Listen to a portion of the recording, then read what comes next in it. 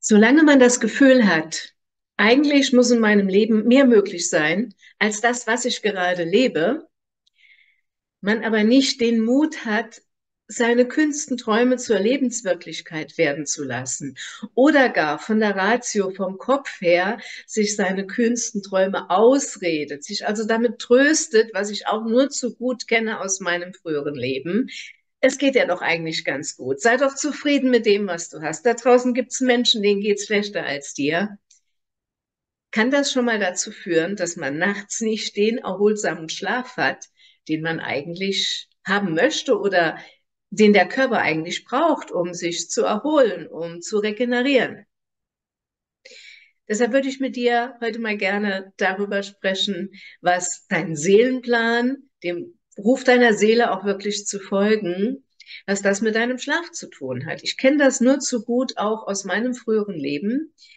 Wie oft bin ich nachts wach geworden und ja, Gedankenkabarett um dies und jenes. Bin nachts wach geworden, habe mir Sorgen gemacht. Bin nachts wach geworden, weil ich unzufrieden war mit verschiedenen Dingen in meinem Leben.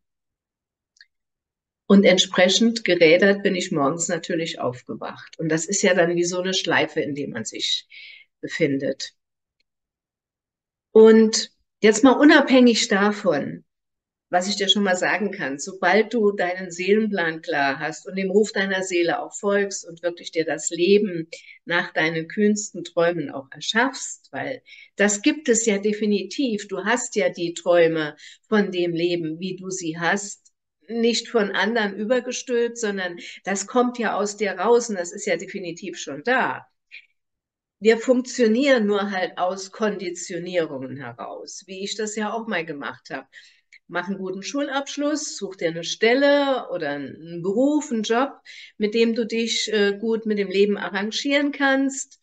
Und ja, bei mir war es noch so der Gedanke damals, wenn du dann mal in Rente gehst, dann, dann kannst du ja anfangen. Ja, das sind ja Dinge, müssen wir nicht mehr drüber reden. Das wollen wir ja alle nicht mehr.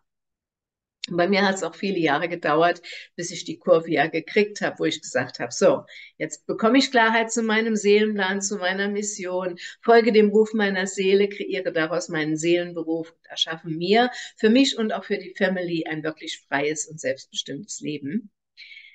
Ähm, das verändert natürlich alles im Leben. Und das ist natürlich auch unbequem, diesen Weg zu gehen, weil dann darf man ja stabil Dinge anders machen als bisher. Man darf sich natürlich auch auf diese Reise begeben, stabil anders zu denken, zu fühlen und zu handeln als bisher, weil das sind ja nun mal die Dinge, mit denen wir uns unsere Lebenswirklichkeit erschaffen. Und da kommen auch so Verlustängste auf. Das war bei mir auch mal so. Was ist, wenn die Familie nichts mehr von dir wissen möchte? Du stehst dann ganz alleine da, dein Mann will nichts mehr von dir wissen, du reißt die Familie auseinander, die Kinder wollen dich nicht mehr haben und, und, und. Das ist alles so ein Gedankenkabarett, was da im Kopf äh, an Gedankenkino einfach losgeht. Die Wahrheit ist aber, je mehr du dir erlaubst, wirklich in deine wahre Größe zu gehen, wirklich die Klarheit zu bekommen, was deiner wahren Größe auch entspricht und das auch zu leben, deine Botschaft, deine Mission mit der Welt da draußen zu teilen und auch vor allem deine Vielseitigkeit zusammenzufügen, sodass ein wunderbares Ganzes entsteht ich bin mir ziemlich sicher, du hast ganz viele Interessen, Fähigkeiten, Begabungen, Stärken, die dir nur so zu einem Bruchteil bewusst sind. Das ist auch eines der Gründe, warum du so eine Ahnung hast, es muss mehr in meinem Leben möglich sein, als das, was ich bis eben lebe. Und was du vielleicht auch bis eben so ein bisschen als ein Handicap äh, ansiehst, dass du gar nicht wegen deiner Vielseitigkeit und weil du möglicherweise dir auch schon viel Wissen angeeignet hast, autodidaktisch oder auch schon Mentoren, Coaches an deiner Seite hattest, aber bis eben immer noch nicht da angekommen bist, wo du eigentlich hin möchtest. Deshalb geht es bei dir darum, wirklich ein wunderbares Ganzes entstehen zu lassen, was wirklich deiner Essenz, deiner Seelenessenz entspricht und da all deine Talente, Fähigkeiten, Begabungen und Stärken zusammenzufügen, sodass du dich ich sage es jetzt mal schwarz-weiß gesagt, auf allen Ebenen austoben kannst, dass nichts von dir auf der Strecke bleibt und du über all die Dinge sprechen kannst, die dir entsprechen und die du gerne mit der Welt da draußen, mit wem auch immer, teilen möchtest. Und da geht es nicht darum, dass du die Welt da draußen retten musst, sondern, oder solltest, sondern deine eigene Botschaft, deine Mission, die du mit hierher gebracht hast, gepaart mit deiner Vision, also wie dein ideales Leben auch ausschaut, dabei die Inspiration für die Menschen zu sein und die dabei zu begleiten, damit die auch da ankommen, wo du jetzt dich auf diesen Weg begibst, wenn du deinen Seelenplan lebst. Ja, so, das dazu. Dennoch gibt's jetzt hier mal einen Tipp für dich, den ich zu der Zeit, wo ich auch noch so in dieser Gelebtwerden-Falle war, mich in diesem Hamsterrad gefangen gefühlt hatte, äh, die Idee von einem freieren Leben hatte, aber noch nicht wusste, ja, wie komme ich denn dahin? Und dass mir manchmal nachts tatsächlich so den Schlaf geraubt hat. Was du machen kannst, was ich damals auch gemacht hatte. Ich hatte so in meiner Vorstellung am Schlafzimmer am Schlafzimmer, an der Schlafzimmertür, am Schlafzimmerfenster wollte ich jetzt schon sagen, an der Schlafzimmertür, metaphorisch gesprochen, ein Schild, da stand drauf, Stopp. Und jedes Mal, wenn ich abends zu Bett gegangen bin, habe ich mir dieses Stoppschild vorgestellt. All die Gedanken, die mich gerade beschäftigen, belasten, all die Probleme, Herausforderungen, die Unklarheit, wie geht's weiter und, und was ist wirklich so mein nächster Schritt und, und, und. Ähm, manchmal waren auch so, ähm, so Gedanken auch dabei, dass ich auch schon mal gedacht habe, ich habe es nicht verdient, wirklich in die andere Richtung zu gehen, was ja mein Mind ja auch dann irgendwie belastet und beschäftigt hatte. Also all das, was mich gerade, um es auf den Punkt zu bringen, beschäftigt und belastet, bleibt hier vor der Tür. Das nehme ich jetzt mental nicht mit ins Schlafzimmer, das nehme ich mental nicht mit ins Bett. Ich gehe jetzt da rein, alles andere bleibt hier draußen. Morgen früh bin ich wieder für euch da. Ich lege mich hin und habe einen wunderbar erholsamen Schlaf. Jetzt ist das mir natürlich nicht so zu 100 Prozent immer gelungen oder oft nicht gelungen. Und wie habe ich diesen Switch noch gekriegt, das zu ändern? Deshalb gebe ich dir das auch weiter.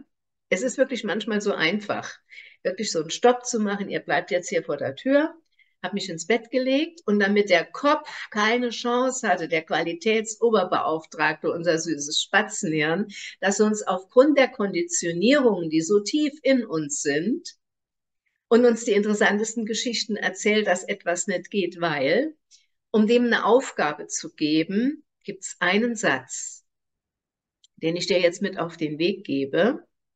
Ruhe, Frieden, Harmonie und Gesundheit dir, lieber Körper. Und diesen Satz, ich habe mich dann hingelegt und habe mir aber nicht diesen ganzen Satz gesagt, sondern immer ein Wort. Und damit habe ich meinem Kopf so die, die Aufgabe gegeben, sich auf diesen Satz zu fokussieren. Und er hatte keine Chance, sich mit Problemen und sonstigen Dingen zu beschäftigen.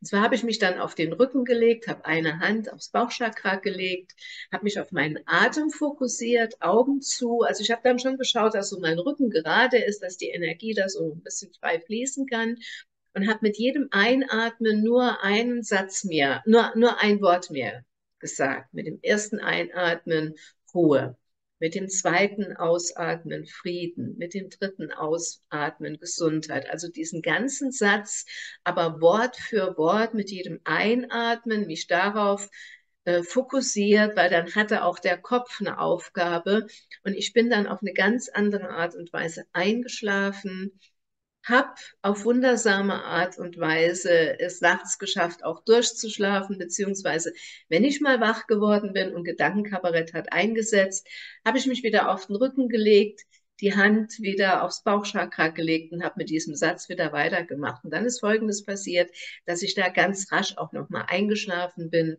und morgens zur damaligen Zeit noch, heute ist das anders, aber zu damaliger Zeit, als dann in der Früh der Wecker geklingelt hat und Zeit zum Aufstehen war, ich auf eine andere Art und Weise nachts geschlafen hatte. Viel erholsamer und natürlich auf eine andere Art und Weise morgens aufgewacht bin. Und so einfach kann es sein, auch wenn der Kopf ist auch eine interessante Konditionierung. Es kann ja nicht so einfach sein. Wenn es ja so einfach wäre, würden es ja alle machen. In der Einfachheit liegt oftmals die größte Veränderung. Und wenn du magst, schau dir gerne mein kostenfreies äh, Videotraining auch an. Das ist brandneu, wie du dir mit deinem Seelenplan dein freies, selbstbestimmtes Leben gestaltest. Du findest in der Nähe von dem Video den Link.